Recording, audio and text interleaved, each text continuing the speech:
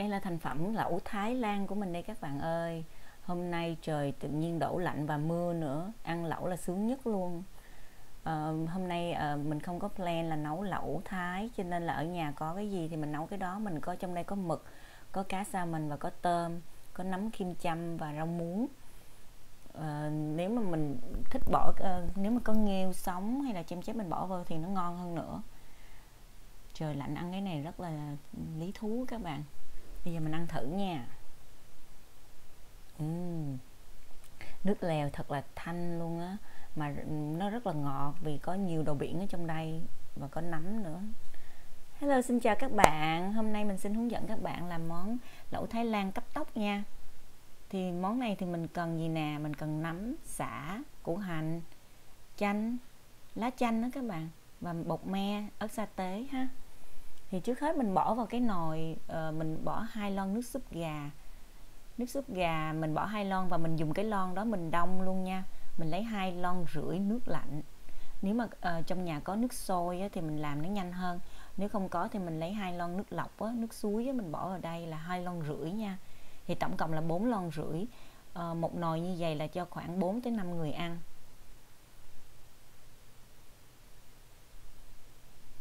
Thì mình dùng cái gia vị lẩu thái này là mình thích ăn cái viên này hơn vì nó cho mình cái vị cái mùi vị của lẩu thái hơn là cái mùi vị của uh, mì gói á các bạn. Nếu mình mà mình mua trong cái hũ cái à, hũ keo á thì nó cho mình ờ, mình cảm giác nên cái vị nó giống như mùi ờ, mùi mì gói quá cho nên mình không có thích bằng cái loại viên này.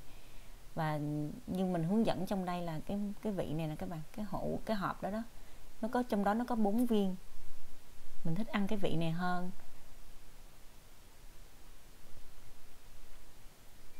Nấu cái này thì mình nấu cấp tốc, không có cầu kỳ ha, không có cần, không có hầm xương, không có cầu kỳ thì giống như mình nói là mình nấu đột xuất. Cho nên dành cho những người mà không có thời gian cho các bạn nào không có thời gian thì mình làm nó nhanh hơn. Thì mình bỏ vào đây bốn viên trong cái gói, bốn viên gia vị lẩu thái mình bỏ vào đây. Và hai cây xả đập dập và một cây xả thì mình cắt xéo xéo nhuyễn, nhuyễn mà xéo xéo các bạn. Cho ai thích ăn xả thì có thể ăn luôn cái miếng xả nhỏ này. Thì tổng cộng mình bỏ vào đây ba cây xả. Và lá chanh thái mình bỏ vào đây 6 lá chanh thái mình cắt nhuyễn ha. Nếu mà nhà bạn nào không có lá chanh thái mình cũng có thể làm lá chanh uh, của cây chanh thường nha. Ăn tuy là nó không có bằng nhưng mà ăn cũng ngon lắm nha lá chanh à, bình thường á mình cắt nhuyễn á mình bỏ vào đây ăn cũng ngon lắm.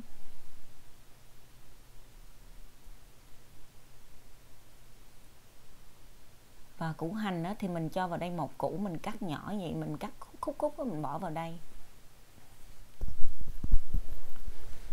Đây là cái gia vị lẩu Thái Lan các bạn.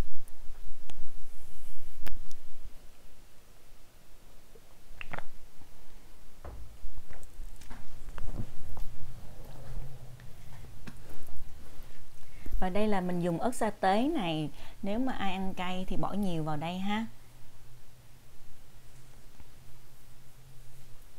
Mình bỏ vào đây hai muỗng hai muỗng canh ớt sa tế.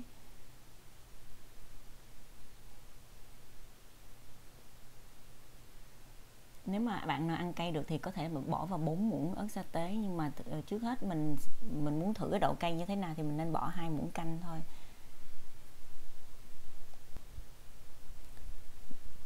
Và mình đậy nắp lại mình hầm trong vòng 15 phút để cho củ hành và xả nó ra cho nó thơm á.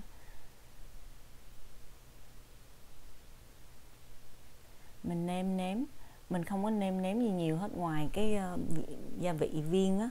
Và sau đó mình bỏ vào đây nửa muỗng cà phê bột uh, bột me. Thế là vừa ăn rồi các bạn. Mình bỏ chỉ có như vậy thôi á sẽ thấy rất là nhanh không nè, bột me thì mình dùng hiệu này ha.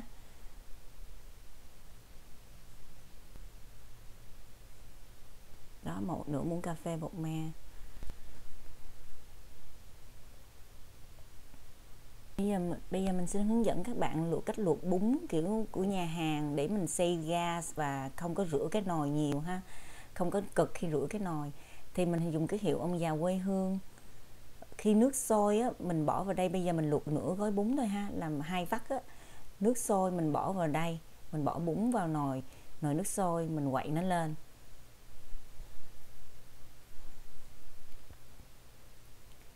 Mình quậy lên và mình đợi khi nước sôi, mình bắt đầu mình tính phút từ lúc mình nước sôi và nước thì phải ngập nó qua cái mặt của bún nha, phải có đủ nước nha. Cái nồi mình đang dùng là 8 khối và mình để cái nồi nước lên trên cái gần trên cái cái quai cầm và mình để có hai vắt thôi. Thì lúc mà nước sôi mình quậy nó lên và mình đậy nắp lại mình bấm 2 phút.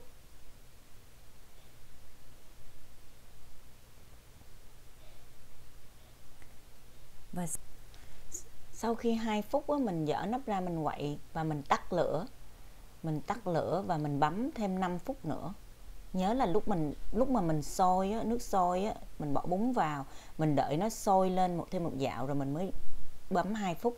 Rồi sau đó sau 2 phút đó thì mình tắt lửa mình bấm 5 phút là tổng cộng có 7 phút thôi.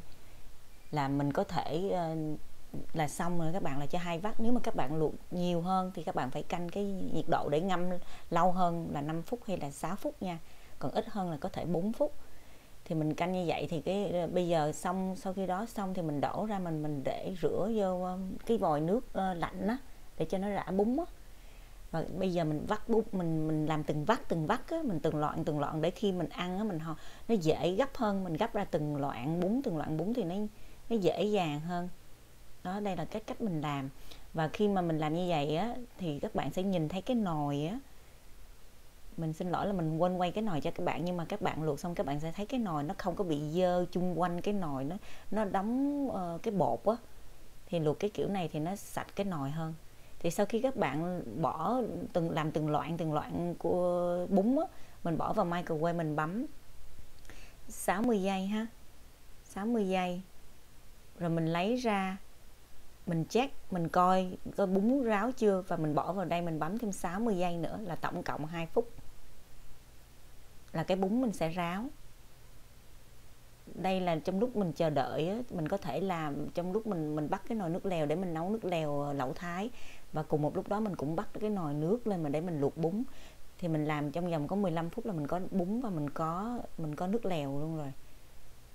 Nè đây là cái loạn bún này mỗi mỗi lần mình gấp ăn mình bắt từng từng miếng từng miếng như vậy nó nó, nó dễ hơn là mình phải dùng hai tay mình xé nó mình mình cắt nó ra thì bây giờ nồi nước lèo nó đã sôi các bạn thấy nó nhanh không nè? Trong vòng 15 phút là mình nói là có có, có lẩu ăn rồi đó các bạn. Thì mình bỏ cá vào mình thích ăn đồ biển gì thì mình bỏ vào. Nếu mà muốn thích cái màu đẹp hơn thì mình có thể bỏ thêm uh, dầu hạt điều hay là bỏ thêm cái dầu của sa tế á. Nhưng mà vì ờ, mình nấu cho ở nhà ăn cho nên mình không có cần bỏ mình không có bỏ quá nhiều dầu nhìn nó đẹp nhưng mà ăn nó nó nặng bụng cho nên là mình để làm vừa đủ thôi. Mình làm kiểu này thì vừa ăn nó nó thanh đạm hơn.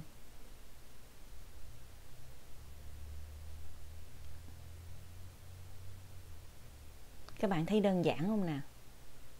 Quá đơn giản mà không cầu kỳ, không cần bỏ muối, bỏ đường, bỏ bột nêm gì hết, phải không nè? Tại vì trong cái gia vị nó đã nêm sẵn rồi, mình chỉ cần biết là mình nêm cái gì vô nữa thôi. Chỉ là có bột me và uh, xả sa tế củ hành những cái thứ gia vị phụ thôi. Dạ, ờ, món này thì nó nhanh gọn dành cho những bạn mà bận rộn với công việc và gia đình quá thì mình có thể làm cái món này mà mà trời lạnh nữa cho nên cho cả nhà ăn mà không có tốn nhiều thời gian.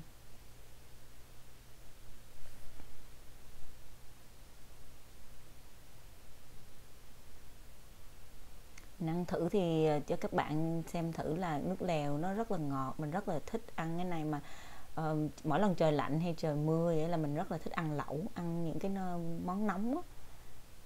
rất là ngon luôn á các bạn. Ok mình chúc các bạn làm thành công và ăn ngon miệng nha. Nếu mà các bạn có thắc mắc gì á xin để comment ở phía dưới. Mình sẽ trả lời sớm nhất có thể nha. Và có thích món gì á, request thì các bạn để comment ở phía dưới nha um, mình cảm ơn các bạn đã xem video và các bạn nếu mà thích cái video này thì xin bấm nút subscribe. Nếu mà chưa có subscribe bấm nút like và share. Với gia đình và bạn bè mình cảm ơn các bạn nhiều lắm. Nếu mà có ai hỏi các bạn uh, là ờ, nấu ngon nấu cái món này ngon và xin các bạn chia sẻ cái video này nha. Đó là một cách uh, các bạn cảm ơn mình đó, các bạn khi mà các bạn cho mình credit đó mình cảm ơn tất cả mọi người rất là nhiều đã ủng hộ cho mình. Bye bye. See you next time